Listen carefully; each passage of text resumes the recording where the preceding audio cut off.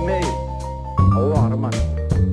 I made $250,000 from a book and the serial rights, which many of you were good enough to purchase also. I made a lot of money. A lot of money. I made a lot of money. I made $250,000 from a book and the serial rights, which many I earned between $100 and $250,000 every year.